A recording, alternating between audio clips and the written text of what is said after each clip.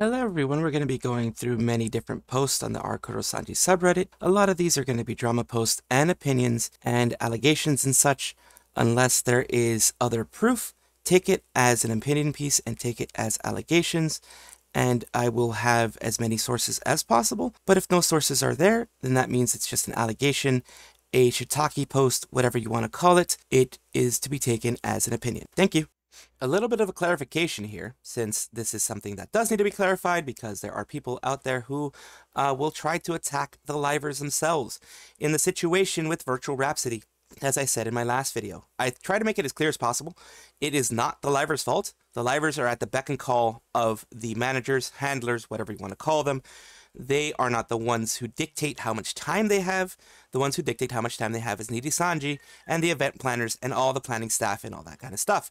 So if someone is being pushed out, it is Niji Sanji staff doing that, whoever they put to push people out and to tell people the time that it is. Now this person apparently also saw that there was some negative negativity going around against the livers and wanted to also clarify that kind of stuff. So I found that someone has misinterpreted my post on the 428 regarding Virtual Rhapsody Singapore event and attempted to incite hatred towards Niji Sanji. Well, yeah, of course we're going to do that. That's not a misunderstanding. No, no, no. It's Niji Sanji who messed up because they mishandled the whole thing. Let's say there's event staff there, okay? Let's say that Niji Sanji paid event staff there. Uh, they're the ones who paid them. They're the ones who are supposed to have dictated what happens during that time. They're the ones who are supposed to have dictated, you know, under no circumstances do you let them go more, longer than 60 seconds or longer than 90 seconds or whatever it is.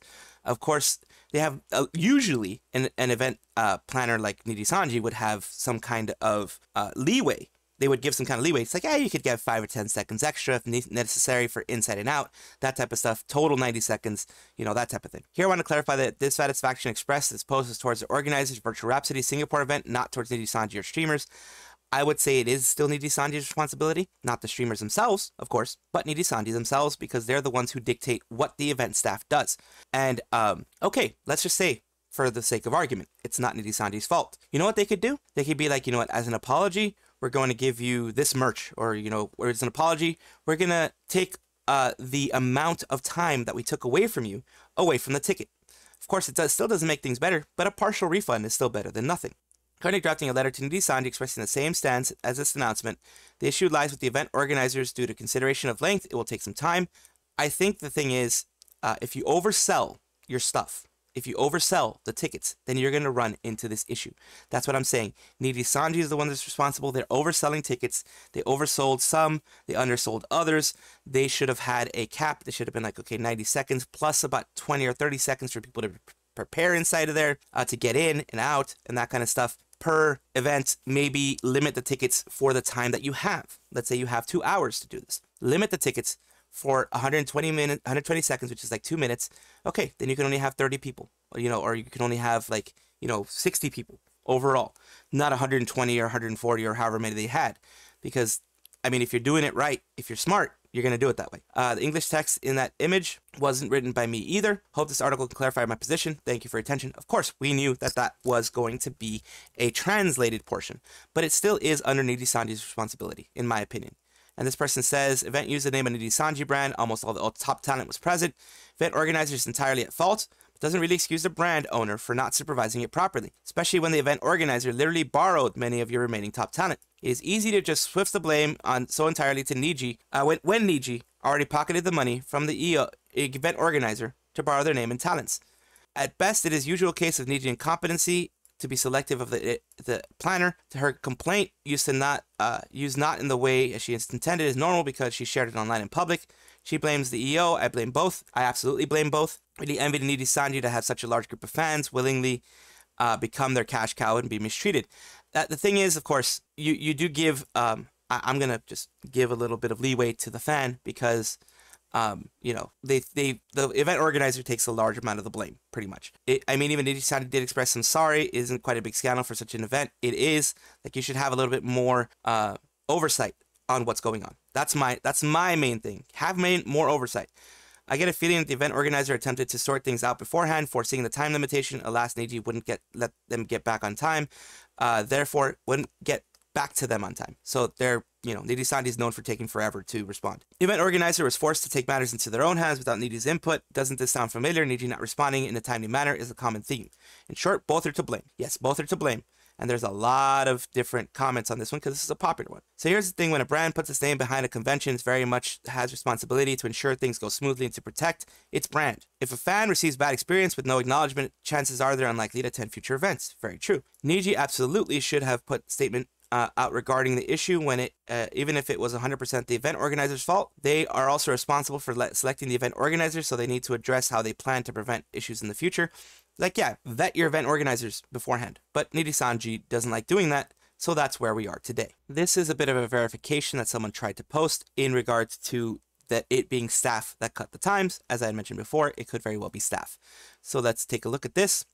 It says, uh, Luca Kaneshiro, I'm so happy to staff to be a staff that assisted you in V Rhapsody. I did not have time to speak to y'all. Very many tech issues and timing issues, but I know that I've seen since day one. I'm happy to have helped you all. Small potato staff here at V, v Rhapsody. First and foremost, I would like to apologize to the people in Luca line. Uh, in fact, that we had to cut some of your timings off. Honestly, y'all are so wholesome. Standing in the meet and greet room showed me how wholesome the fans can be, and I'm sincerely sorry for the inconvenience caused. As a small potato staff, I indeed do not have power to change some things, and I wish for your cooperation. Thank y'all so much for coming. Really made me and the Livers day uh, to see the amount of support we all give them. I, in the bottom, bottom here, it says, I feel so bad cutting off meet and greet times for mail session during Virtual Rhapsody.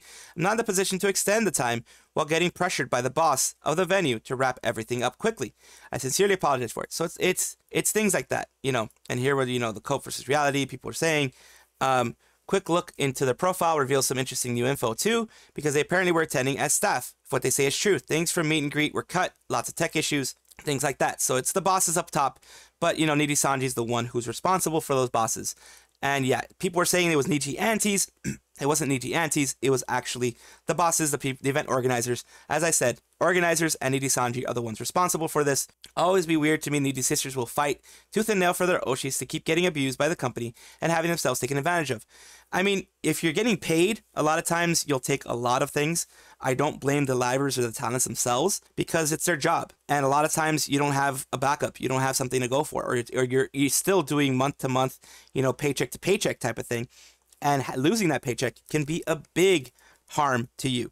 So that's why I'm seemingly going easy on the livers in this situation because they're not really the ones responsible for this. Here's something that someone taking what Quinn said as separate from what Quinn actually said. I think it bears repeating that Quinn makes it implicitly very known that he wasn't happy, but also makes it explicitly known that the only VTuber news channel he trusts, as someone uh, who actually worked there, is one berated for doing positive stories on Niji, talking about Mr. Underhill in this case. Even former Niji livers have said that this course is dumb as F. Kuro and Quinn, as of recent, the truth is just that some livers get effed over, and that's important to talk about, but not in the way it's currently happening. He didn't mince words, he actively went out of his way to name Underhill and to say that others in the space are lacking in, and I quote, journalistic integrity. Now let's see what somebody says that Quinn actually said. He said, I feel like Nitty's sister twisted Quinn's words a bit. His words were, Underhill just be reporting on it like normal S.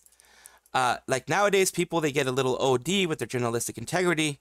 You know, I feel like Underhill tries to be a bit more nice about things. So you're just saying that Underhill tries to be a bit more nice. And that's normal. That's fine. I have nothing wrong with Underhill or anything like that. He may sway a certain way, but people say I sway a certain way too. So it's all in the eyes of the beholder, I guess. took Quinn's words to mean that he thinks other news YouTubers are too obsessed with journalistic integrity and reporting the truth bad news think he likes Underhill because Underhill is less concerned with journalistic integrity. I don't think it's necessarily that, and tries to focus on reporting positive stuff. Figured he probably doesn't want to consume drama or negative news for his own mental health. Servins uh, Soruevens suggested that OD might stand for overdramatic stuff instead of overdose. Yeah, o- overdramatic. Yeah, it's definitely overdramatic stuff. Um, seeing the clip now, the tweeter is twisting the words a lot. The guy is saying that he would rather only watch fluff pieces that not thinks that it makes more accurate or true. Uh, just that saying that avoid news because it makes you depressed, not because you think they're lies. Pretty stark difference, and Quinn in no way, shape, or form suggests that the other news tubers were lying. Um, yeah, I can understand that. I can absolutely understand that. And I support that if that's what you want to do. You know, go for fluff pieces, go for pieces that keep your mental state high because it is super important to take care of your mental health. It is super important. I always push the, the mental health aspect as well take care of your mental health, do what's right. If you need to take a break from Niji News, if you need to take a break from Niji Sanji overall, do it because your mental health and your health overall matters more than anything. So apparently they have their own rats now. uh, completely baseless assumption that because Hololive has such a good record, they must be hiding something. Uh, did they think that Hololive just doesn't like to F their talents over and across a person's mind? This is the same thinking conspiracy theorists have about governments hiding stuff from them. So basically, yeah, Binted is saying uh, things like um, that need basically, we'll just read what he says. When it comes to arbitrary fandom wars, I think it's a big mistake to go all in on hollow worship. Things do look better right now, but so much of what they do well is just having better PR and a Western fandom who's invested in taking them at their word. We're not invested in taking them at their word. We're actually like I actually go against them sometimes. I've gone against them with the with the Coco incident. I've gone against them with uh, the Mano Aloe incident, with the original Mel incident, with the Toa incident. I, I can go on and on. There's incidents happening all the time. But the difference is Hololive actually tries to fix it when it happens. They see, holy crap, we messed up. The fans really don't like it because us Kaigai us over here in the West, really hold them to account. Because some of their unicorn things that happen over there, some of the idol type stuff that happen over there, we don't like. I definitely don't like it. They know how to rad- radiate positivity and big glossy spectacle. They know how to tell you what you want to hear. They know how to keep former and current talents quiet about a lot of internal workings. Uh, because they're not doing things to basically sabotage their current talents while they're working for them and they know how to get people to see their CEO as a good CEO because he actually seems to care. At least that's what he shows. I think the generally impressive how they do it, or maybe it's just look a lot better at it by comparison, but they got a hold of the initial major demos in the Western community first, and they gave them a lot of goodwill. Fans do a lot of work for them. Uh, they seem to have forgotten the China incident. The China incident, the Western fans were ready to abandon Hololive en masse. We were all ready to just abandon Hololive if they kept China. We were ready to abandon Hololive if they didn't do something to protect Kiryu Coco and to protect Hachama if they didn't do anything, we were going to abandon them. And so was a lot of the, well, not so much the, the Japanese crowd and the Asian crowd, but I know that the Western crowd was. But I do I do remember that the Japanese crowd did have a problem with it as well. All Hololive numbers are open for the public to see. They don't hide anything. And they do oopsies regularly in wrong printed name on merch, scheduled tweets meet, meet up early, and on many more, but they also apologize quickly. YAGOO's interviews are also easily accessible in many platforms. They have regular blogs and P- for PR stuffs. Their staff are also appearing regularly to talk about their job. One CN anti, if I remember correctly, the account was FBK Go Graduate back in Taiwan controversy, tried to dig on YAGOO, cover, and Fubuki tax evasion theory for 1.5 years. He found nothing. Uh, isn't literally like unique merch that Holo uh, collectors would love to get a hold of. Kind of like Talon made a mistake in one of their myriad signatures they do. What's their point? Are they just admitting how incompetent Initi is as a company? That's the thing. Initi just doesn't have good PR. That's pretty much it, it, what it is. And Hololive actually tries to fix their PR when there's mistakes, not do a black uh, scream, screen, screen stream, and do a fake apology. Some positive news for once. Uh, look who follows Mint. All these people that follow Mint. Of course, Michi MichiMochiEvee follows. Uh, VTuber TBA, Abbott Second, of course, the regular people. Uh, Reimu Endou follows you know, Reimu, it, it's she's allowed to follow whoever the hell she wants, and she's allowed to support whoever the hell she wants. Uh, Niji may not be happy about it, but there we go. Saya Synchronicity, of course. Uh, Sayu, the actual voice actor, 2.0 arc. Uh, Miori Celesta. Uh, Maria uh, from V4, V4 Mirai. Takanashi Kiara, of course. Because they've been friends for a while, you know. Made Mint slash Not Pomu. Uh, they've been friends for a long time. Keisan Socho, of course. Amalie, big VTubers are following her. I'm glad that big VTubers are following her. She deserves that type of attention. Big W. Min, aka Pogmu, was uh, taking more and more W's in the end.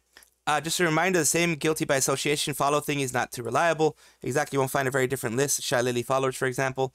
Uh, still awaiting Kiara X Mint collab. Uh, Wait, Reimu follow Mint, which should be safe considering what happened to JP side, the follow graduated person, or maybe Niji fa- finally team and let them be. I think Niji's too worried about other stuff right now, like making money, that they're going to be worrying about who their library follows, especially if their library follows a ton of people. It's not going to be a big thing, I don't think. I think people are trying to dig into trying to find something bad happening, you know what I mean?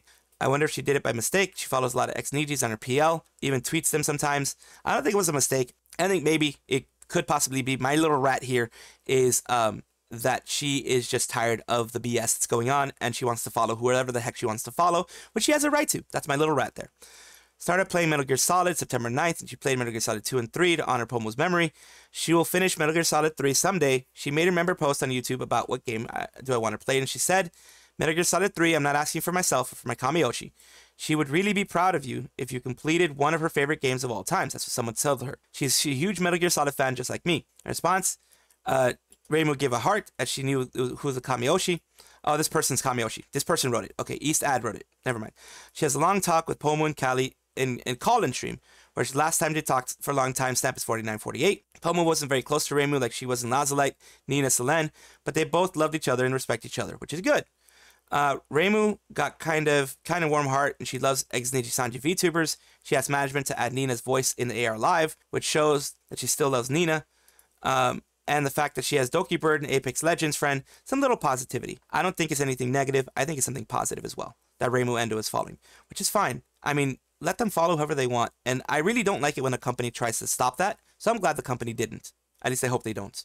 Pretty quickly, we're going to go over some um, things, some little memes here. Let's take a look at this one. Hey, Butters, we're here. Are you ready? I'm scared, but I know my country needs me. This is it, Butters. We have to be strong. We're taking down those goddamn Chinese right now. Because we're going to make them think we're one of them. Here, put these teeth in. And just say hello and please a lot. Oh, God, no. Bing bao ching chong. Boom, boom, hello, please. I'm done. I'm done with this one. This one, this one's just. It, it's because it's South Park. It's it's a little it's a little offensive. But let's see what they do. They go in there. They try to infiltrate. They try to do all this kind of stuff. And uh, yeah, what are you doing? Um, it's just it's just basically the the Chinese food restaurant place. They're going to start. Oh no, essing people in the in the D. Nope, nope, nope, nope, nope, nope. They're reporting on Bilibili about 5k CCV and only 13 tier one Bilibili paid members, which is around 500 USD per month before any cut. If we calculate the cut, makes about 170 USD per month.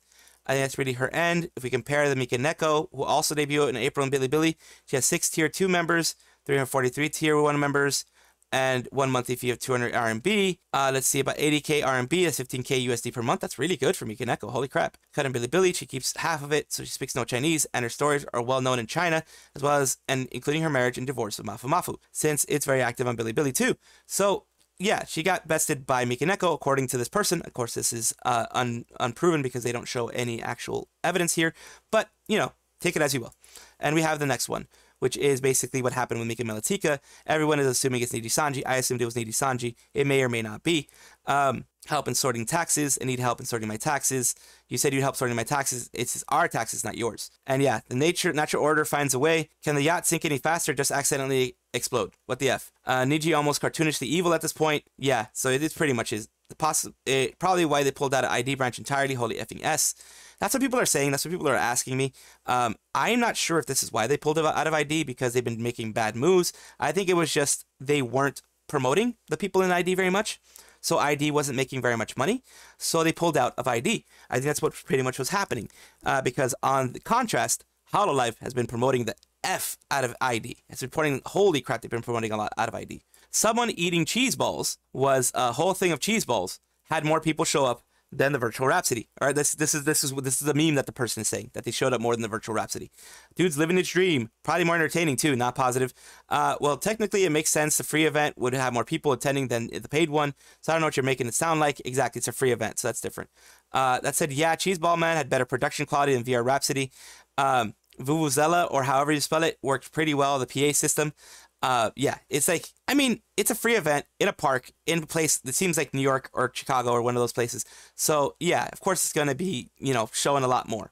Yet another Virtual Rhapsody uh, meme that we have here, just keeping the memes going. It says how they make money. Gaslighting negligible, not a form of harassment. There's no favoritism, overpriced floor quality, snake oil sales, uh, the, you know, the stuff that happened, uh, the meet and greets, and the really poor uh, charms, I guess we would call them, and that's how they make money, of course. Now, is Niji Sanji a that that word that they're mentioning there? I don't think so. It's just a regular company, but some people do treat it with uh, too much reverence. That some people could consider it a cult. Uh, personal fun. Harshi Har- Harshi responsible for the black stream, but I have my own theories about her behaviors. I think she was possibly forced into it. Who knows? Here's another one of uh, your company could not survive your latest business blunders, and so last month you bellied up and let your firm go under. Despite the loss you must have felt, despite the stress and strain, that bonus that you gave yourself will surely ease the pain. You walked away a billionaire and didn't lose a yen. Your firm's investors got wiped out. But hey, who are those guys again? Because this is uh, a greeting card that made for Tazumi's inevitable golden parachute, which he's going to have. Press investors with workers. Investors are also largely responsible for the custom, the the scummy behaviors because they're pushing stuff like that, you know. And yeah, of course, you know, you can't uh, let your investors really control everything, but they're the ones who control a lot. On a bit of Nexus news, I'm going to cover two things right now. One is uh, Orphe saying some interesting thing about Nissan GEN members that she would smash, and another one about some interesting topics that another person would do. do you guys think should uh what do you guys think about my answer about Vox Akuma? That she would I mean on smash his Vox uh, de- uh Avatar debut version one, I would smash. Debut version one. Okay. okay, Ike Eveland. Am I into those? Yes, I'm into those. I'm into guys that wears uh glasses. Oh dear. I'm in trouble. I wear glasses too. I'm in trouble. Yeah, I don't mind. okay, uh Ike Eveland. Yes, I would smash too. I'm into I'm into witty guys and also glasses. Meaty guys and glasses. Okay. And okay, okay. next one would be uh Mysta Rias. Okay, everyone's Mysterious. Uh, yes, I would smash. I like his humor. Not gonna lie, he's kind of funny. I mean, that's that's that's cool. Luca. If you want to Nah. smash, smash. Go I'm ahead. sorry, Luca Go ahead, fans. I'm not into Luca. Okay, Shu. Hmm. Sorry, Shu fans. I'm I'm, not into Shu. She's not into Shu. I would smash. Horseshoe fans. I, I mean, I'm I would pass. I'm sorry. pass pass on Shu. Luca, she doesn't know either. So it's like not none of the recording her taking one Renzotto and going, yeah, I'd 100% smash him. So Renzotto as well, she'd smash. Now moving on to the next one that I want to talk about. Uh, there are some wild topics, man. Imagine my surprise when I found out that that word weren't just what we call Zaion LanZa fans. Uh, culture shock. Online political debates are so confusing for me. It's more confusing than keeping up with the uh, that uh, LGBTQ plus updates. I was watching Depressed No Sagi, and I think someone called Kotoka but purple called her called Inaria Lilialis uh, Kotoka but purple. At least I can take that mean to mean I'm pretty. Uh, LMFAO bro, you just debuted, and I think everyone wants their account to stay up for longer than a few days. Cancellation speed run. So yeah, they're they're having some fun. They're poking some fun at themselves. Nexus guys and girls, they got mistreated because of the fact that they were pushed 27 in three days. They are all looks like some interesting people, but 27 in three days does not help you at all. Um, what is it with VTuber agencies and hiring the most bat s insane people they can come across? Fastest way to graduate or termination. I called it the talent either eat each other alive or just dive straight into controversial topics to stay relevant. Yeah, I mean you can do that. You can definitely do that. Agency has taken some steps. Are they good? No. Uh, steps towards open pit? Maybe. Thing I want to know is are they intentionally trying to phase to be phased or is this all according to Keikaku? Parrot, please, I want to stop doing all my ninja videos. Monkey paw curls. That's yeah, because now he's going to be doing Nexus videos. Imagine being nobody in this industry and you're actually acting like a POS. I swear VTubing gave idiots like this a boot. Oh, this person doesn't like them. Okay, I see. We got politics, minor bigotry, and making fun of canceled. What a great start. They must be jealous of the headlines that he's making. Oh, there's some people who really hate them. Look at the shorts on their official channel. They use images, clips of indie and hollow VTubers, also clips from anime as well as stock footage of real people. All sorts of style tips for VTubers. So it begins, Battle Royale. This is Nexus official shorts. Okay, so yeah, they're they're doing it. Ah, okay, so that's the way they're doing their shorts. So it seems like it almost seems like a rug pull. Honestly, it's, it's it is going to be a battle royale. It almost seems like a rug pull, which is unfortunate for the Nexus talents. Hopefully, they can go indie after that and enjoy some sort of uh, positivity. That is all for right now. Of course, comment, like, and subscribe down below. Thank you for being here. Of course, I love having the conversations with you guys. I love having these things with you guys, and I do appreciate it whenever you guys do comment. Take a look at my description for my socials. There's a Discord, there's Twitter, there's other places that you can check me out, Twitch, etc. And also check on your screen right now because there might be a video that you might enjoy. Thank you.